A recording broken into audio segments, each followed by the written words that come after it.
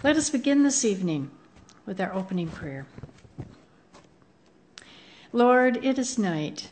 The night is for stillness. Let us be still in the presence of God. It is night after a long day. What has been done has been done. What has not been done has not been done. Let it be. The night is dark. Let our fears of the darkness of the world and of our own lives rest in you. The night is quiet. Let the quietness of your peace enfold us, all dear to us, and all who have no peace. The night heralds the dawn. Let us look expectantly to a new day, new joys, new possibilities. In your name we pray. Amen. The order for Compline is found on page 127 in the Book of Common Prayer. The Lord Almighty grant us a peaceful night and a perfect end. Amen. Our help is in the name of the Lord, the Maker of heaven and earth. Let us confess our sins to God.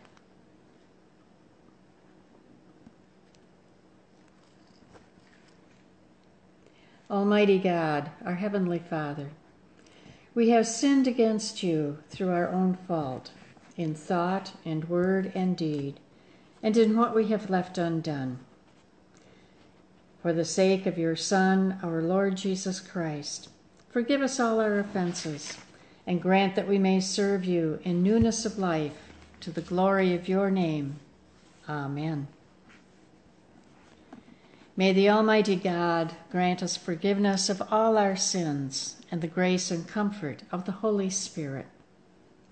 Amen. O Lord, O God, make speed to save us. O Lord, make haste to help us. Glory to the Father, and to the Son, and to the Holy Spirit, as it was in the beginning, is now, and will be forever. Amen. We continue with Psalm 31. In you, O Lord, have I taken refuge. Let me never be put to shame. Deliver me in your righteousness. Incline your ear to me. Make haste to deliver me.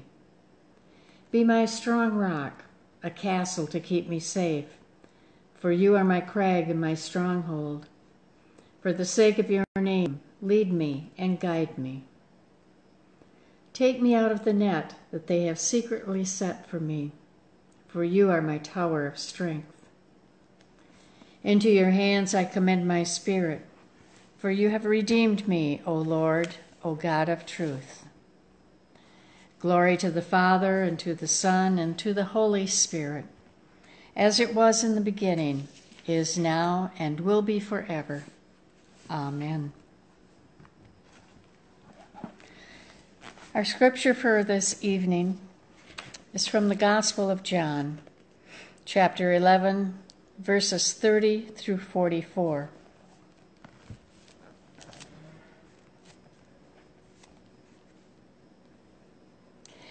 Now Jesus had not yet come to the village, but was still at the place where Martha had met him. The Jews who were with her in the house, consoling her, saw Mary get up quickly and go out. They followed her because they thought that she was going to the tomb to weep there.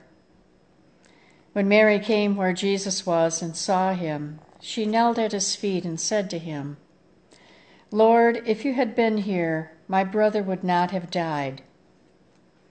When Jesus saw her weeping, and the Jews who came with her also weeping, he was greatly disturbed in spirit and deeply moved.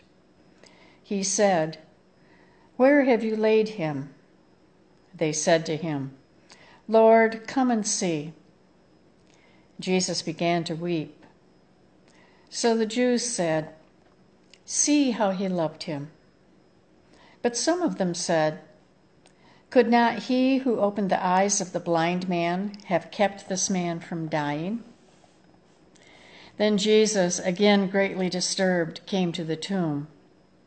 It was a cave, and a stone was lying against it. Jesus said, Take away the stone. Martha, sister of the dead man, said to him, Lord, already there is a stench because he has been dead four days. Jesus said to her, Did I not tell you that if you believed, you would see the glory of God? So they took away the stone, and Jesus look up, looked upward and said, Father, I thank you for hearing me. I knew that you always hear me, but I have said this for the sake of the crowd standing here, so that they may believe that you sent me. When he had said this, he cried with a loud voice, Lazarus, come out. The dead man came out, his hands and feet bound with strips of cloth and his face wrapped in a cloth. Jesus said to them, Unbind him and let him go. Thanks be to God.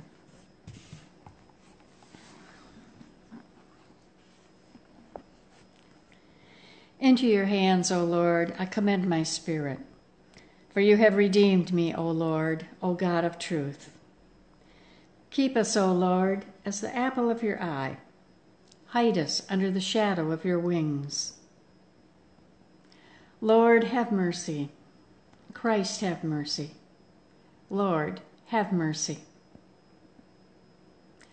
Our Father, who art in heaven, hallowed be thy name. Thy kingdom come, thy will be done, on earth as it is in heaven. Give us this day our daily bread, and forgive us our trespasses as we forgive those who trespass against us. And lead us not into temptation, but deliver us from evil. Lord, hear our prayer, and let our cry come to you. Let us pray. Be present, O merciful God, and protect us through the hours of this night, so that we who are wearied by the changes and chances of this life may rest in your eternal changelessness. Through Jesus Christ our Lord. Amen. Keep watch, dear Lord, with those who work or watch or weep this night, and give your angels charge over those who sleep. Tend the sick, Lord Christ. Give rest to the weary. Bless the dying. Soothe the suffering. Pity the afflicted shield the joyous, and all for your love's sake.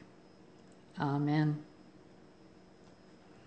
At this time, I ask for your personal prayers and thanksgivings, either spoken aloud or silently within your heart.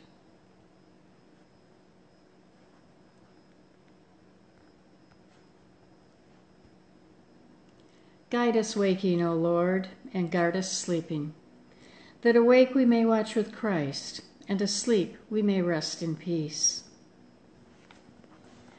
Lord, you now have set your servant free to go in peace as you have promised. For these eyes of mine have seen the Savior, whom you have prepared for all the world to see, a light to enlighten the nations and the glory of your people Israel. Glory to the Father, and to the Son, and to the Holy Spirit, as it was in the beginning is now, and will be forever. Amen. Guide us waking, O Lord, and guard us sleeping, that awake we may watch with Christ, and asleep we may rest in peace. Let us bless the Lord. Thanks be to God. And our blessing for this evening. The world now is too dangerous and too beautiful for anything but love. May your eyes be so blessed you see God in everyone, your ears so you hear the cry of the poor. May your hands be so blessed that everything you touch is a sacrament, your lips so you speak nothing but the truth with love. May your feet be so blessed you run to those who need you. And may your heart be so opened, so set on fire, that your love, your love, changes everything. Amen. Good night, my friend.